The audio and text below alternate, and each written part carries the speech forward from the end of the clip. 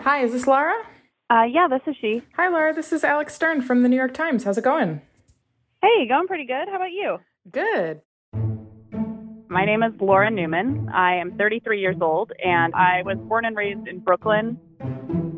I moved back to New York after graduating from college, and I moved in with my mom because I could not afford even to have roommates in an apartment. Or I guess I could have afforded it, but it was like I had this goal already of wanting to open a bar or restaurant, and I knew that I had to be saving money.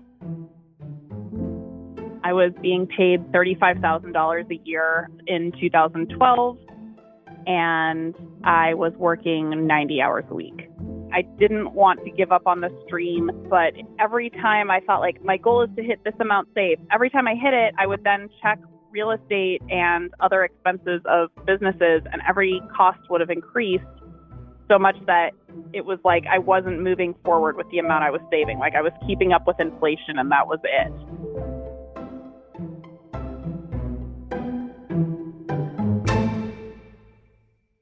I was getting involved in bartender events that brought people in from around the country and encouraged networking. And I would talk to people that lived in other cities, and we would start discussing things like the cost of living in terms of what they were spending on rent, groceries, and it was mind blowing to me. And I think that's when I started seriously considering leaving New York, even though, as someone who was born in St. Vincent's Hospital, the idea of leaving New York City was like illegal. I currently reside in Birmingham, Alabama, and I currently own two bars one is called Neon Moon, and it's kind of like a honky tonk five star dive bar, like nightclub deal. The other one is called Queen's Park, and it's a cocktail bar. It is funny though, because there are a lot of New York transplants here in Birmingham, and I pretty much constantly have people being like, I feel like I'm in New York when I'm in your bar. Thank you.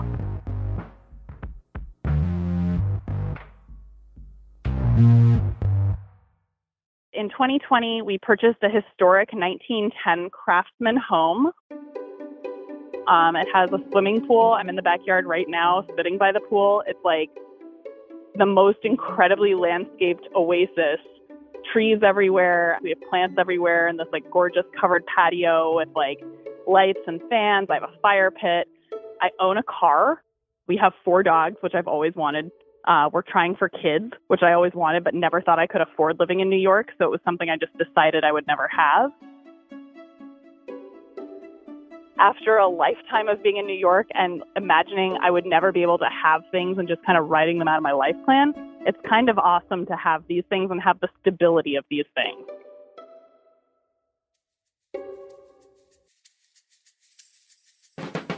From the New York Times, I'm Sabrina Tavernise and this is The Daily. In recent years, college educated Americans have begun leaving big coastal cities like New York, San Francisco, and Washington, D.C. in large numbers.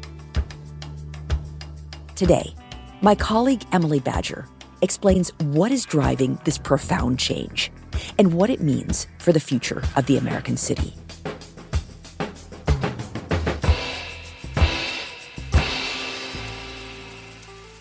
It's Friday, June 2nd.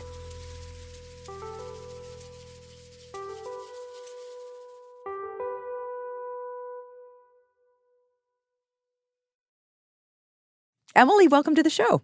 Yeah, thanks for having me, Sabrina.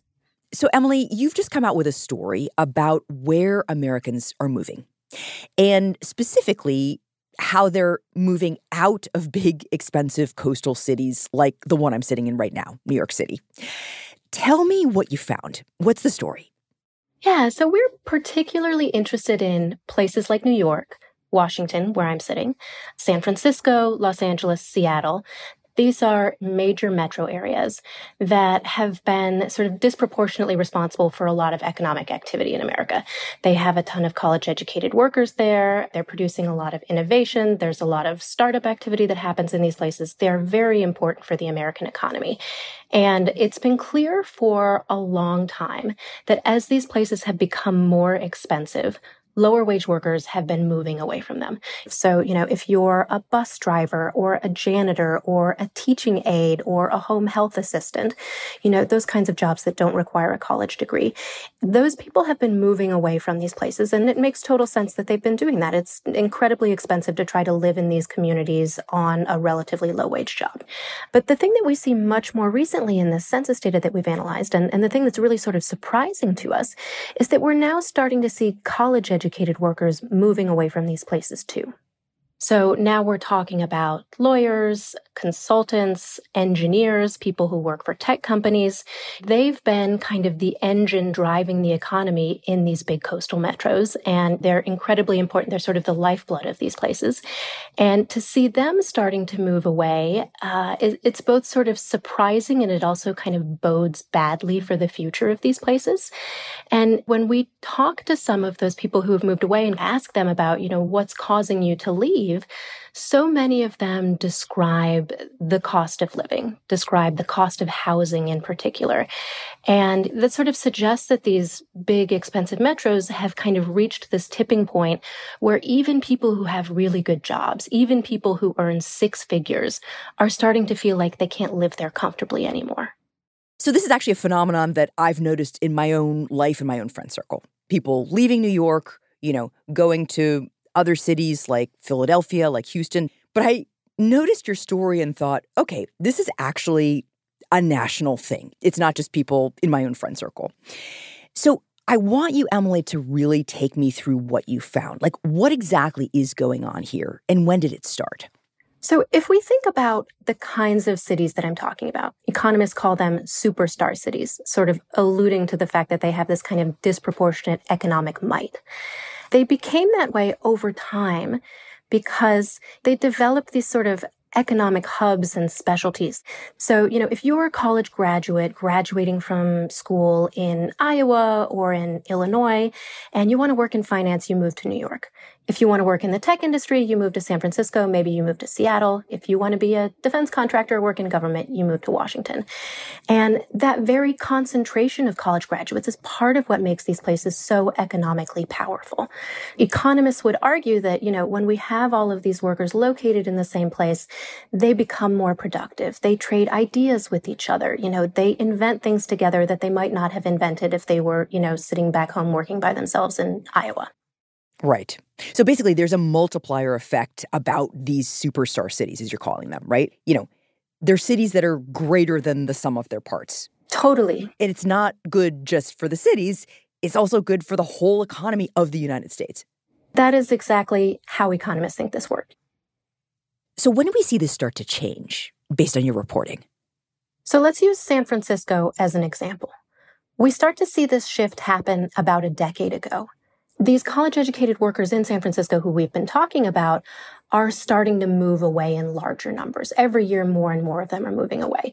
They're still moving into San Francisco because San Francisco remains a magnet for workers like this, but increasingly they're moving away until we sort of reach this point where now more of them are moving away than moving in. Got it. A tipping point so that there's actually a net loss. In other words, more people leaving than coming. Yes, the San Francisco area becomes a net exporter of college graduates to other parts of the country. And, you know, if this were happening in like a Rust Belt community or a smaller community in middle America, we would call that brain drain, right? Right. We're not accustomed to thinking of these big, powerful coastal metros as experiencing brain drain, but that's basically what we see in this migration data. So, if these big cities are exporting these people, who's importing them? What places are they going to? Places like Salt Lake City, Austin, Houston, Dallas, Tampa, Atlanta, you know, these, these places that are growing, they're still prosperous. You've got relatively good job prospects there, but crucially, they're more affordable than these big coastal cities. But why are people actually making this move from these coastal cities in this moment in particular? I mean, housing prices have been very high for a long time in New York and San Francisco and all these places, right? Like, is it a pandemic thing? So the pandemic arrives and it really kind of supercharges these patterns that we have seen building over the past decade or so. And I think one of the big reasons why that happens is that a lot of these college educated workers in expensive coastal cities are given this new option for the very first time of working remotely. And, you know, for many people, that means working remotely permanently, that you could totally relocate to another part of the country and keep your job. And for some workers, you know, this means they now have this new amazing deal they can take advantage of, which is collect a San Francisco paycheck, but pay a Dallas mortgage, you know, pay a Phoenix mortgage. And that's an incredible deal if you can get it. Right. Like, who wouldn't want to do that? People were doing these arbitrage things with their paychecks and their mortgages during the pandemic. We watched it even among our own colleagues. Yeah, I mean, the circumstances of the pandemic and the rise of remote work are sort of perfectly tailored to take this trend that had been building over the past decade and just make it take off. Austin is a great example of a place that's been a beneficiary of this trend.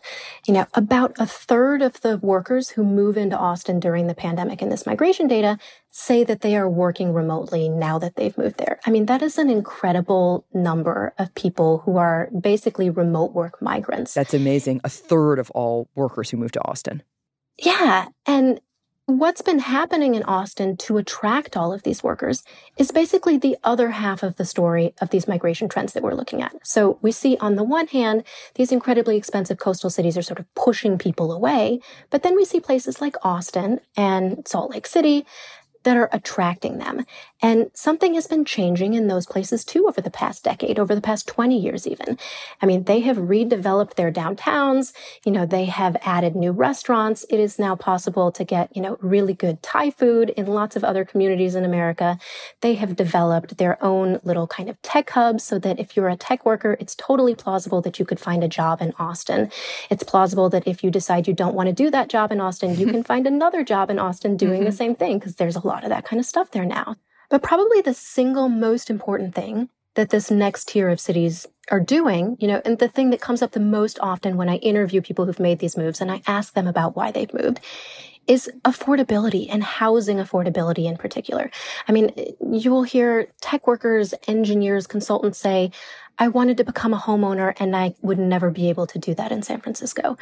As of this spring in the San Francisco metro area, you know, the median cost to buy a single family home is like $1.25 million. Wow, the median cost. So the typical home the typical home and and it's probably a tiny home and it has like one bathroom and maybe two bedrooms. Thanks San Francisco. Again and again people bring up housing affordability and that is fundamentally an incredibly important advantage that this next tier of cities has over the San Franciscos, the New Yorks, the Washingtons.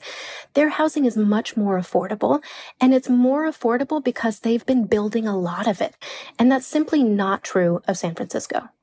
Yeah, I mean, I was in Phoenix at some point last year and I was just amazed at like how much was going up in the suburbs and around the city. The metro area was just booming with building. Yeah, these are places that are growing and they're happy to have people coming and they're working very hard to accommodate more population that are moving in. So it sounds like cities like Phoenix are in effect solving San Francisco's affordable housing crisis. That is exactly what's going on. So, this is great for places like Austin, Nashville, Salt Lake City. But it's not so great for San Francisco or Washington and New York. All of this movement of college educated workers away from those places is also going to bring with it some big problems.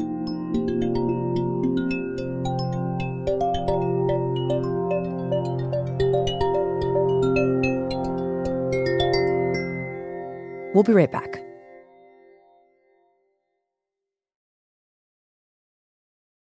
This is Diana Nguyen. I'm a producer on The Daily at the New York Times. I guess just to start, could you say your name and uh, your age and your job? So, my name is Eduardo Lero. I'm 45 years old. I work as a consultant. I feel like I lived many lives in New York over the time that I was there, but really the last seven, eight years of my life in New York was spent really as a doctoral candidate and then as a teacher in the New York City public schools. I've never hated New York a day in my life, and I still don't. I was the only place in the world that I felt where I naturally fit. There's a part of me that is only ever calm in New York, partly because I'm a gay man and like we're completely safe for the most part and assimilated. I'm a museum junkie and I go to all the shows and the galleries. I love the art of New York, the culture of New York, the incredible diversity of New York City. Like I lived in Queens and on my block, I mean, there, there were 20 languages and it was a short little block. You're always like aware that it's a cost benefit analysis, that everything in New York that you love comes with a really steep cost. And what happened to me over time was that I became increasingly unwilling to, to pay those costs. And when I say cost, I don't necessarily only mean economic cost in terms of dollars. I mean like the grueling grind of like, let's say laundry. So what does it feel like for a 40 year old person to walk up and down three flights of stairs to schlep their laundry to the laundromat three blocks away like in the rain or the snow or whatever. And it's sort of the same schlep going to work, it's the same schlep going to the grocery store. So, in order to live in New York, you have to do, and you, if you don't have money, like a lot, a lot of money, every single thing that a regular American would be able to outsource with like a washing machine or a dishwasher or any of the amenities that people just kind of have, all of that labor is on you.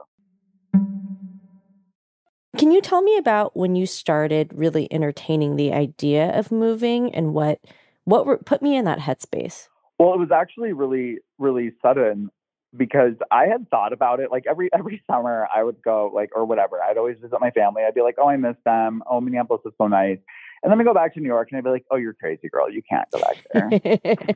but then what happened was that I got this job at the firm that I'm at now, and basically it was really easy to move around. And I was working remotely, and they were like, "Yeah, sure, you can live where you want to live." So I live in Minneapolis, and I work remotely. And so, do I miss the city in so many ways? Yes, but right, like the calculation has changed because I'm, I've actually found that like I have a lot more time to be like a human being in my own life and body when I'm not in New York. I just wrote a novel. I always wanted to write a novel. I wrote a novel. Why is this important? Right? Because while you're grinding it out in New York, what are you not doing? You're saying you wrote a novel in Minneapolis because you have time. Yes. What is it about? It's it's well, okay. So is this going in my? yeah. So actually, so it, the, here's the tagline. It's Jane Austen for gay people in an alternate version of reality where there's no homophobia.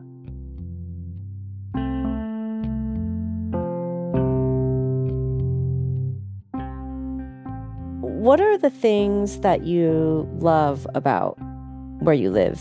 So this weekend I rode like 150 miles on my road bike and it was like pure bliss and peace.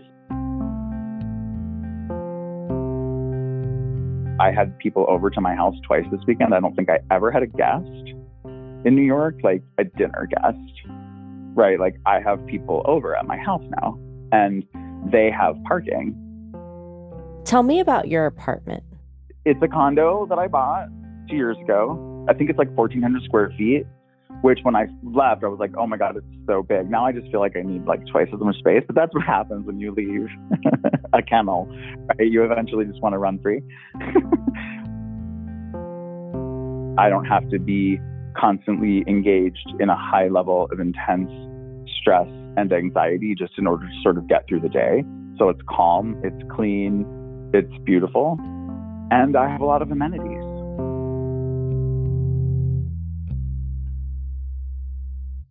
So, Emily, people are really liking their new lives in these smaller cities. But you mentioned that this new migration pattern was creating problems for the bigger cities that they left behind. What are those problems? So, big cities around the country have basically been competing to lure these workers for the last two generations or so. To now be losing that competition in San Francisco, in New York, and Washington means that There's economic activity that you're going to be losing out on. It's tax revenue you're going to be losing out on. And the money that highly educated people spend is money that lower wage service sector workers earn in restaurants and in bars and things like that. And so to start to take away these people who, as we previously talked about them, they're the lifeblood of the economy of these places. Economic development officials really don't want to see this. Mayors really don't want to see this.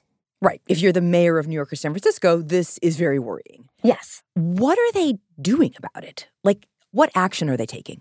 So, the single most important action that they could be taking because so many of these people are citing the cost of housing as a reason for why they're leaving, is that these places could be building a lot more housing. And fundamentally, at the end of the day, that's not really happening. They're not doing that. The state of California is trying to do some things in order to solve its housing crisis, but for the most part, you know, these places for decades have not been building enough housing. And there's very little to suggest that all of a sudden they're going to correct for that problem. But why are they not taking action? I mean, it kind of goes against all sense, right? The politics of housing in America in some ways don't make sense. and part of that is because if you're already a homeowner in the San Francisco area, you have made a ton of money off that housing market that I described has doubled in value over the last decade. And you don't want a lot more housing to be built because you want to maintain the value of your property. Right. And so kind of baked into the politics of housing in these places is a lot of incumbent homeowners and incumbent voters who simply are opposed to building more housing. They elect people who don't want to build more housing. You know, New York State has been having a big conversation about this these days. You know, the governor had proposed a number of ideas in her budget this year that would have encouraged local communities to build more housing in order to solve this housing crisis. Mm. But there was too much opposition and all of those ideas basically sort of died in the state legislature this year. So, what does this add up to, Emily? Like, where does it leave us? So, one of the things that happens is that geographic inequality in America gets worse. And basically, what that means is that the inequality between places is widening. New York is pulling away from other parts of the country. San Francisco is pulling away from other parts of the country because increasingly only the richest of the rich can really afford to live there and be comfortable. Right. And economists are very concerned not just about inequality between people, but inequality between places. It's just. And why? It's just not healthy for the country to have so much affluence clustered in a small number of places, and only a small number of people get to take advantage of all of the resources that are produced from that affluence. You know, only a small number of people get to go to the cultural institutions that New York has, get to take advantage of the hospitals that New York built, get to take advantage of the restaurant industry that New York has. To come back to the sort of economist argument about what's happening in these places with the multiplier effect that they have, mm-hmm. you know, an economist would say that we are better off if as many people as possible can live in the most productive, most prosperous places. Like literally the American GDP gets larger if more people are working and producing things in the most productive places. But also, we've just spent the past 20 minutes talking about how that's not possible because no one can afford to live in those places. So, respectfully, economists, by that logic, couldn't all the people moving to Austin and Denver and Nashville create more of these productive hubs in other places? And wouldn't that be good for the economy? Like, why does it have to be these super cities? Yeah, no, that is a really great question. And I think it is entirely possible in the years to come that Austin, Denver, Phoenix, that they may come to occupy the same kind of special role in the economy that New York and San Francisco and Los Angeles have occupied for generations. You know, they may be the new engines of the American economy. And they will have stronger and stronger multiplier effects in the years ahead. And that would be good for the country. I mean, it would be good for economic activity and educated workers to sort of disperse to more places, to move away from the coast, to move into the interior, you know, for more parts of the country to feel like they're benefiting from the prosperity of this kind of knowledge worker economy that college educated workers are driving. So all of that would be good, but it would be a lot better if it weren't a housing crisis that was driving that growth in these other places. I mean, we would be much better off as a country if we were both fostering greater prosperity in more parts of the country and enabling more people to move into the places that are already prosperous. And Emily, what about the question of affordability in a Nashville, for example? After all of these tech workers have moved in. I mean, presumably they bring some of these problems with them, right? Like they're exporting these same things that are plaguing New York and San Francisco to some degree. Yeah, I mean, we've mostly been talking about how it's good for Nashville or Austin or Salt Lake City to be receiving these college educated workers. But there's an asterisk to that.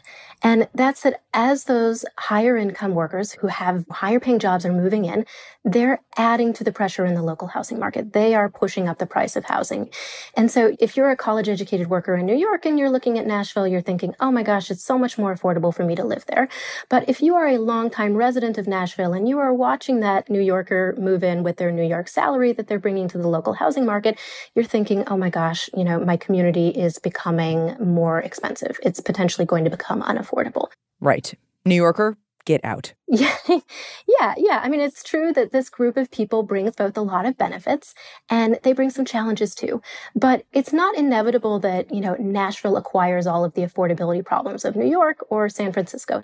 This next tier of places has basically reached a crossroads where now the mayors and the public officials and the voters there, they have an opportunity to decide we don't want to be the next San Francisco. And, you know, the, the first question is like, okay, well, how do you do that? A big part of the answer to that is like, well, make sure you continue to make room for more people to come in. And that's going to mean building more housing. It's going to mean thinking about building explicitly affordable housing. Right. And then as for the workers themselves who are making these moves, you know, the, the people that we're talking about at the end of the day, like they're not making these moves thinking about this necessarily the way mayors are going to need to think about it or the way economists have been thinking about it. I mean, they're talking about these really kind of intimate lovely details about quality of life and what it means for them to have quality of life. You know, they're talking about things like, I finally don't have to share a bathroom with other people anymore. I don't have to have roommates. I can have big Texas sized furniture, which I could never have in a New York apartment or, you know, just sort of these, these other little details like, you know, knowing your neighbors in a way that they didn't in these big cities or having access to peace and quiet or having spare time for hobbies all of these sort of little details that add up to people feeling like they just have a better quality of life than they did in these really expensive places. So, to hell with efficiency. We want to be in a place that gives us joy. Yeah, and increasingly, these college educated workers have more choices of where they could go in order to find that. Emily, thank you. Thanks for having me.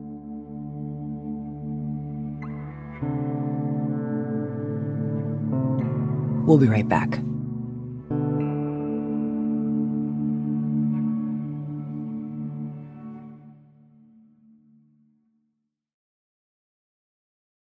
Here's what else you should know today.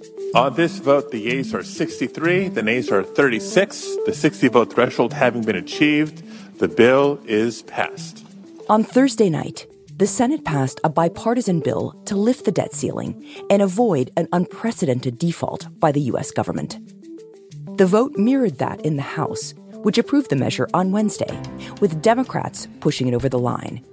Despite the fact that it was a Republican bill, 44 Senate Democrats backed it, compared with just 17 Republicans. Now, Democrats are feeling very good tonight. We've saved the country from the scourge of default even though there were some on the other side who wanted default, wanted to lead us to default.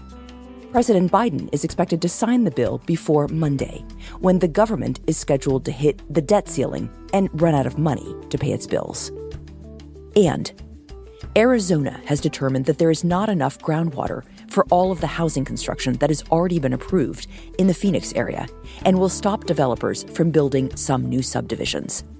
The decision by state officials is a sign of looming trouble in the West, where overuse, drought, and climate change are straining water supplies. Phoenix is currently the fastest growing metro area in the country, and Maricopa County, where Phoenix is located, gets more than half of its water supply from finite, precious groundwater. Today's episode was produced by Nina Feldman, Alex Stern, Diana Nguyen, Carlos Prieto, and Mooj Zadie.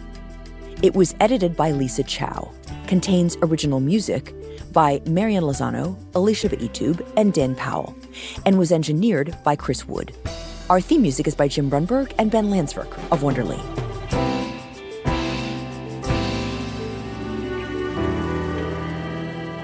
That's it for the daily. I'm Sabrina Tavernise. See you on Monday.